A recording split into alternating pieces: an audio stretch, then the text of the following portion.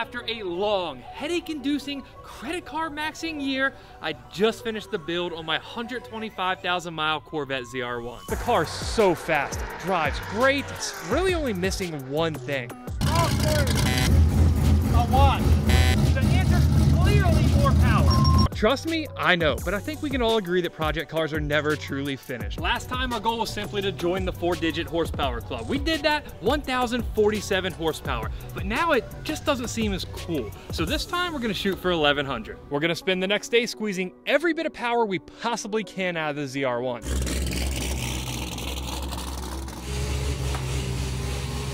Now I have to imagine this. Some of you guys might be thinking that this is a bit irresponsible or God forbid unsafe.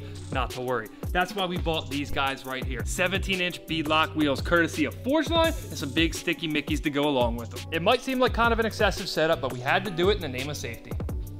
That's not what you're saying here.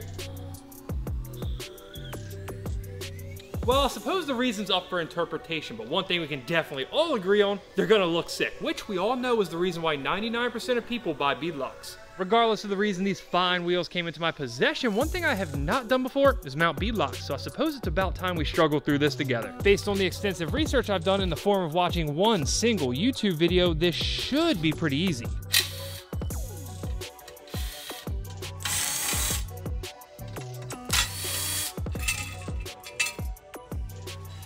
Is actually my first time seeing a beadlock up close and personal like this, and it's pretty impressive how they work. I don't know what I assumed they were gonna be like, but it wasn't this. You see that edge of the wheel right there, it's heavily beveled. On the inside of this lip here, it has the same kind of markings. The idea is it's gonna clamp the tire to the wheel with so much force that when we launch it, at the drag strip, it's not gonna spin on the wheel like it may if we had a traditional wheel on the car. Of course, the performance safety benefits are awesome, but an even bigger benefit, in my opinion, is that because there's no outer lip on this, we should be able to just push this tire down over the wheel and mount it at the track if need be.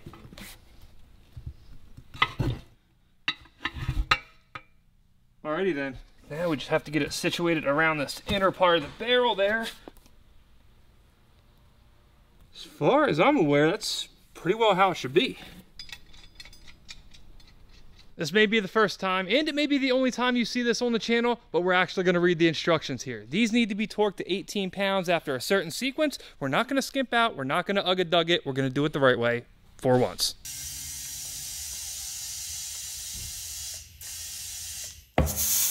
First set of bead locks down, and I have to say I greatly prefer this to using a tire machine, but enough talk about the wheels themselves. Now comes the important part. Do they make the car look faster?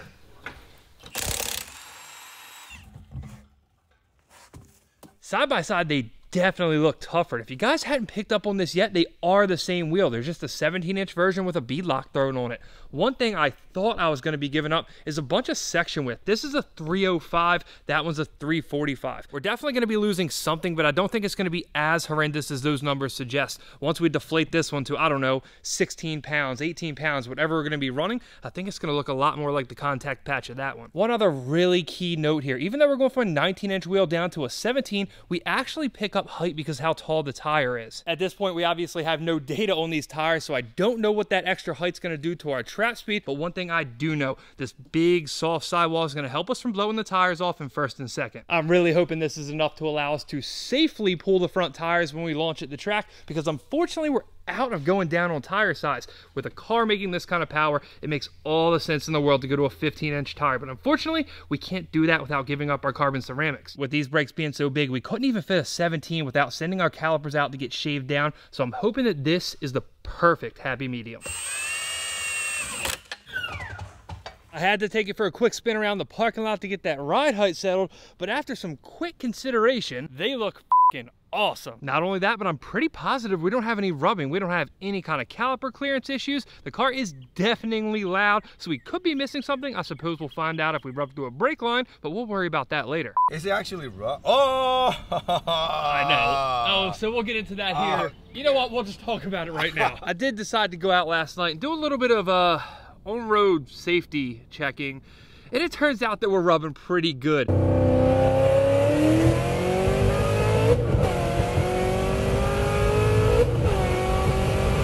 We We left a ton of rubber on this upper side skirt piece here, so we have a couple options. As of right now, the fender sits down below the tire slightly, so I do want to raise the car up. I think that's necessary. Unfortunately, it's not going to be the easiest thing, and I'll tell you guys why in a second. In addition to that, I think we're going to go ahead and cut this side skirt piece here just to take that out of play. I know it kills you that I'm about to raise this thing up a little bit. I thought you were gonna say you're gonna lower it more. How would that make sense in this scenario? Just because it look good. Look, look at that. Look at that filming. It looks sick, Yeah. but it doesn't matter if we cut through the tire and wreck it. It won't look sick on the back of a trailer. You gotta drive it slowly. You know. Stance, guys. Being that we have such a beautiful day out here, we'll take this opportunity to work on the car outside for once.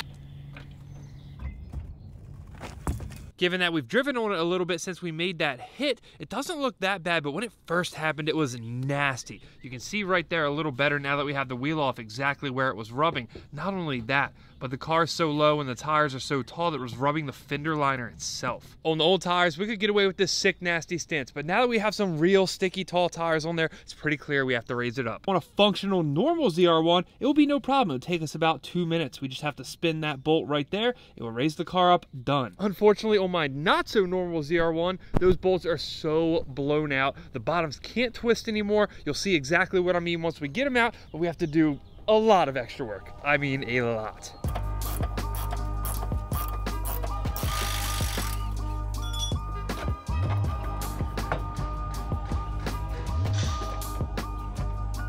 Based on what we're doing at this very moment, I probably don't need to tell you which leaf spring came off my car and which one I just grabbed out of inventory. Look at that. This is easily one of the most destroyed lowering bolt pads I've ever seen.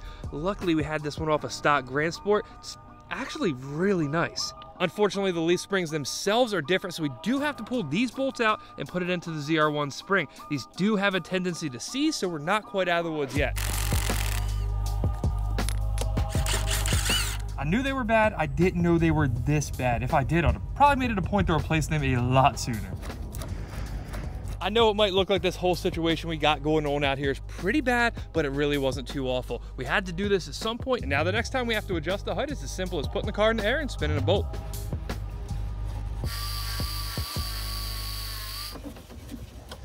Oh my God! Come on, man. It's a race car, not an off-road car. Obviously, I'm sure we all saw that one coming from a mile away, but we did have horrible issues with this car squatting terribly last time we were at the track.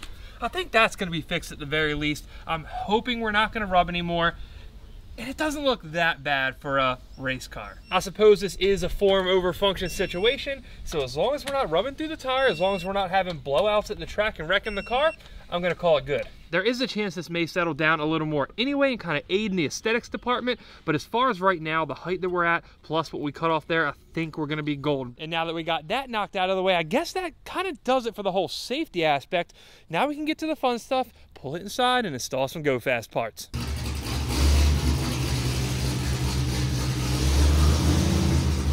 As is the case with any supercharged car. If you want to make more power, assuming you already have your cooling system figured out and everything else is working properly, you're going to stick a smaller pulley on the supercharger. And trust me, I know, if you're not a supercharger guy, you're probably thinking, why does putting a smaller pulley on it make more power? This is the old pulley on the car, 2.625 grip tech by Kong. This one, a 2.5. It's not that much smaller, but even to the naked eye, you can see there's a bit of a difference there. This supercharger pulley is mounted directly on the end of the blower. Every time this spins, the rotors inside the blower spin. Keep in mind the numbers I'm about to give you are by no means accurate, but it'll give you a basic understanding of how this works. Say every time this belt completes one rotation, it turns this pulley 10 times. This one here, because it's a little smaller, it'll turn into 11. The other method of increasing how fast we're turning this belt, therefore blower speed, therefore boost, is increase the size of the lower pulley. So remember this, for more boost on a supercharged car, bigger lower pulley, smaller upper pulley. When I first got into the supercharged stuff, I of course thought, let's stick as small of pulley as possible in there. Let's make a ton of boost, let's make a ton of power. Well, unfortunately, that's not quite how it works. The two byproducts of increasing blower speed and downsizing that pulley, heat, belt slip, neither of which are conducive to a healthy engine or making power. So you telling me that just changing this is going to increase 50 horsepower? No, it's more so this right here. This is what we're counting on doing it, and as I look at it, I realize it's not much of a difference, but I think it's going to do the job. That's for a different reason. We do have a massive advantage using that 2650 blower because if we were using, say, a ported stock blower like I was on my last car, you have to go down to a 2.3 or 2.2 pulley, which is tiny. Belt slip on that is much more prevalent, and on a build like that, this piece will be even more key, but this is a new tensioner setup from Kong Performance that adds an extra idler and changes belt wrap. The LS9 is notorious for belt slip. Even with this massive 11 rib belt, it doesn't contact the pulley enough once you start downsizing. Let's say theoretically with this tensioner, the belt wraps from there to there. With this one here, we're gonna pick up an additional 55 degrees and put it to about there. Now, could we ran this tensioner with this pulley? Yes. I don't think it would have been that big of an issue, but while we're in there, which is, of course, the famous last words, why not install this? If we can reduce belt slip by even a small amount, it's gonna let us make more power. This does all seem easy enough, but this is where we might run into a little bit of an issue here. There's no solid data about which belt we need to use, so I ordered two that might work. Of course, I only have one in my hand in the dyno's tomorrow. One of them showed up, but Mr. Amazon Bezos let us down on the other one and shipped it to Wisconsin. So basically there's a 50-50 shot this works, and if it doesn't, we're all boycotting Amazon. That smaller pulley, same as last time. This tensioner is going to be a little different though. We can access two bolts now, but because of the different design on this one, this bolt here we're going to have a little trouble with. Slowly release.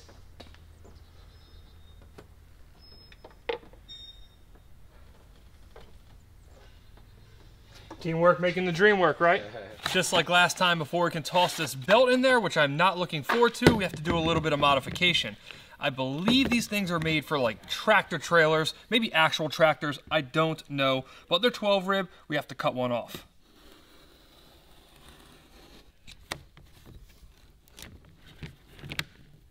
You know the drill. Yank on this. Do not let go because if you let go, I will lose a finger. The only thing I ask is if I yell right here and next video I'm walking around like this, please just smash that like button. It never fails. Every holiday season, we all have that one person we need to shop for that seemingly has everything. Now you could certainly buy them a 1500 horsepower twin turbo Audi R8 kart, which they probably don't have, or you could buy them a gift that's ultra unique, super high quality, and won't break the bank from the sponsor of today's video, Holzkern. Holzkern started as a small family business in Austria. They make insanely cool watches, bracelets, necklaces, even sunglasses and handbags out of wildly unique natural materials, which means every piece is different. You guys see the kind of cars we build here. You know I like to do things just a little bit differently, which is why I could not think of a better brand to partner with. My personal favorite's the Canopy. It's got a super solid wrist feel, it's unique and eye-catching even from a distance, and I mean where else are you getting a watch that's made out of zebra wood and marble? And not only that, every watch comes with a certificate of authenticity and a 24-month guarantee. Add to that the fact that Holzkern is a one-stop shop for men's and women's gifts, meaning you can spend less time shopping at the mall and more time watching mediocre YouTube videos made by yours truly it's really a win-win for everybody. Holzkern offers free express worldwide shipping and they guarantee every order placed up to the 21st of December. Do not sleep on it. If you're ready to knock out your holiday shopping, replace that boring watch, or do both at the same time, head over to holzkern.com slash scraplifegarage and use code scraplife15 for 15% off your order. And then come back and watch the rest of this video. That part's pretty important. Is that all you got? Yeah. We might have a problem here, guys. No bueno. Let me go get him. Let go. Unfortunately, it's not even close to fitting. We're like an inch off on the water pump. Our only option was to find that original belt somewhere that I can get it today. All the local truck stores here in Maryland, nobody had anything. AutoZone, Napa, all the usual suspects, nada. But our good friend Eric back there in the shipping department happened to look on a old truck site called Triple R Truck Parts. It said they had one in stock and it said they're in Pennsylvania. We're in Maryland, Pennsylvania, not too far away. Turns out it's only about two hours. And while I can't make it up there today, my boy Gregory from Lyft here has the belt in his possession and is on his way here right now. A $120 Lyft ride for a $100 belt, not ideal, but all we can do now is pray that it's the right one, or else we're boycotting Lyft. Lyft saves the day today, hopefully. I gotta admit, I do love the fact that this package has obviously been sitting on the shelves for years. The package is yellowing, but hey, I guess it's our lucky day. Wow, you can see on the cut pieces, that's all we're gaining. It's really, really not much. You guys already know the drill. If this one doesn't work, we're screwed. We're not making the dyno tomorrow. God, oh, it's so close. It's really not that close. That was the problem. Um, It's way further away than you think it is. I know. I know. I just need a smaller idler. That's all. oh, okay. There's so no, you- there's no proper belt that's gonna fit this with stock idlers. I don't think. I'm stressing where I can get a 76 millimeter idler because realistically, it's our only chance. We were talking about where we could find one, what other cars they came on. If I could find one locally, the answer was no. Then Austin goes, "Hold on, don't we have another ZR1 in the other unit?" I mean, it's rusty. The whole car's been on fire, but I think it's intact.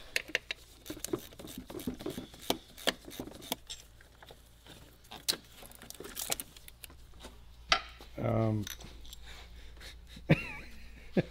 That'll clean up, right? There's our difference. This is what we have. I think that's all we're gonna need. Plus, this one's like a pound lighter. This thing's heavy. Let it go. what? Look at that. Well, it got on and it seemed easy, but it really wasn't that easy.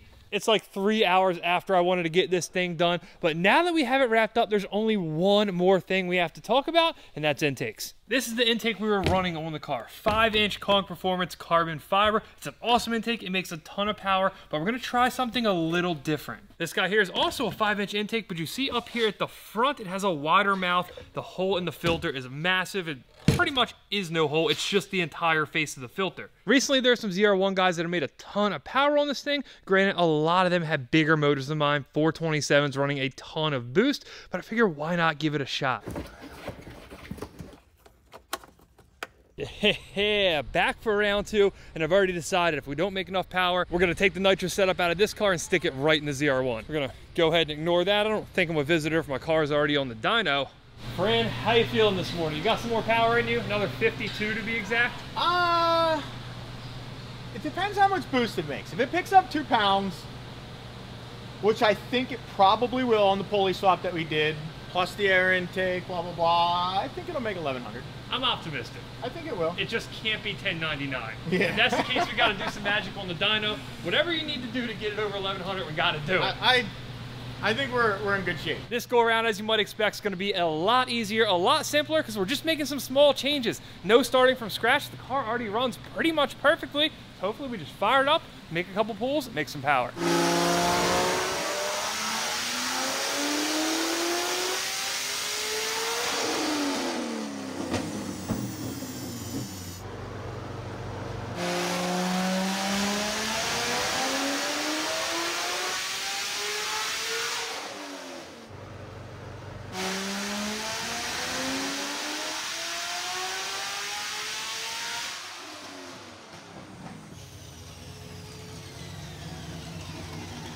Oh, so close. So what do we have going on here? We picked up two pounds of boost, not one. It'll make it. We need four and a half more horsepower.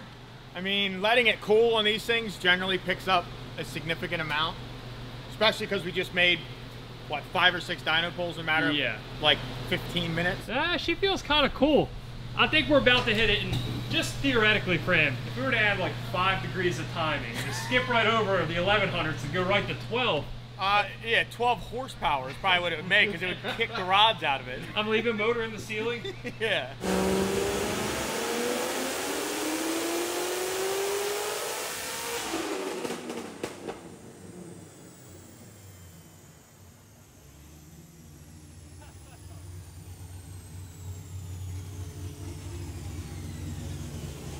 Yeah, three horsepower away.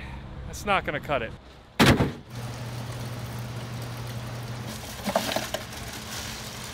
It is a pretty hot day out, and here we only have a couple fans blowing on it to try to cool it down, so I don't consider this cheating necessarily.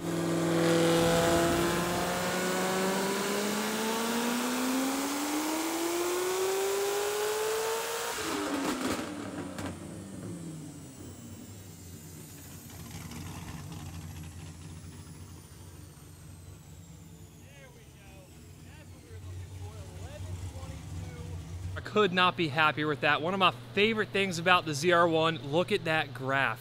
all the way up. No peak, it pulls to whatever the red line is, 7,200, 7,400. What did the temps end up being there after the ice? Uh, at the end of the pull, 98. And at the end of the last one, they were 136 or something Wow, like that. so- there you go. That's the good part about supercharged cars. All you need to make more power is seven bucks an ice.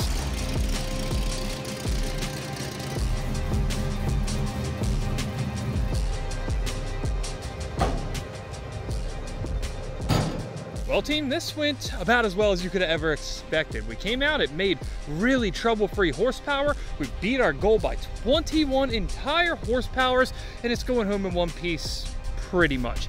I did just find out that there's something wrong with the driver window motor, so we're gonna have to diagnose that at some point. We can no longer roll the window up. Now that we can press pause on the endless pursuit for more horsepower, the question is, what do we do with it? And I think I have the perfect idea.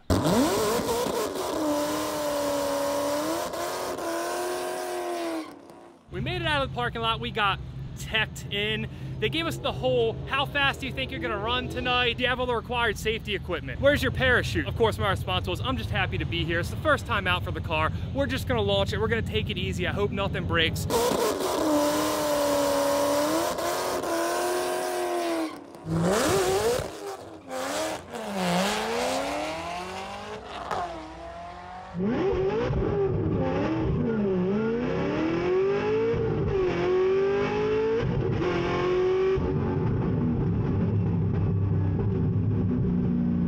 Give it to you. You didn't miss shift.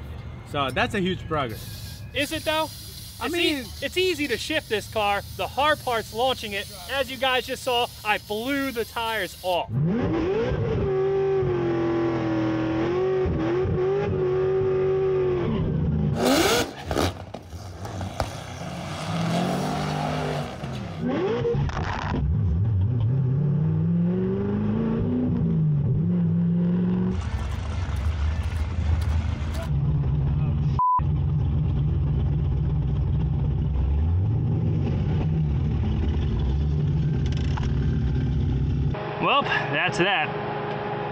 Right there, from there, is Lee walking back. It doesn't look good.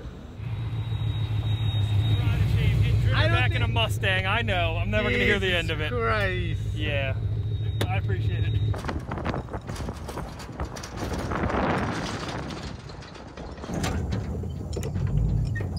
Beat a race car, they say. It's gonna be fun, they say. Don't build a race car. Is it bad? I don't think it's bad, and that's the good news. We kind of leaked a bunch of coolant all over the track. What happened, if you see here, we're missing a belt. The supercharger belt, that one that we, you know, Uber lifted, whatever it was.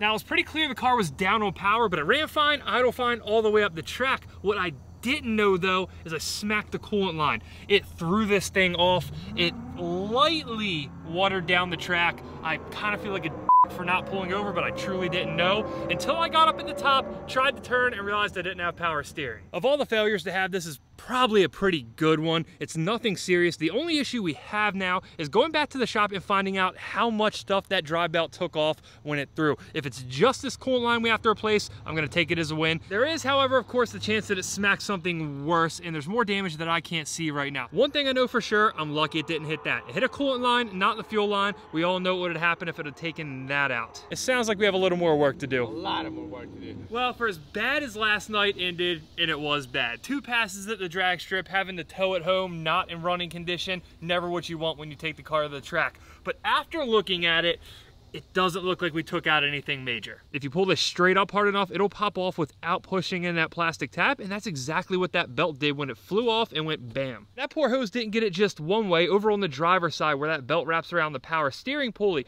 you can see clear as day that silver mark right there where it hit it on this side as well. Don't ask me how, but somehow, some way, it didn't break this frail plastic line, but we are going to replace it just out of an abundance of caution. I'd hate to get this thing back in working order and then lose the coolant line because we were cheaping out over 120 bucks. I've already pulled the tensioner off. That's on its way back to Kong Performance. They're going to inspect it, repair it if needed. I do have a new belt on the way, this time via FedEx and not via rideshare. I'll order up a new coolant hose next, and we should have this thing back on the road, no worse for the wear, for a couple hundred bucks. Yeah, something about leaving you guys hanging on this one just didn't feel right.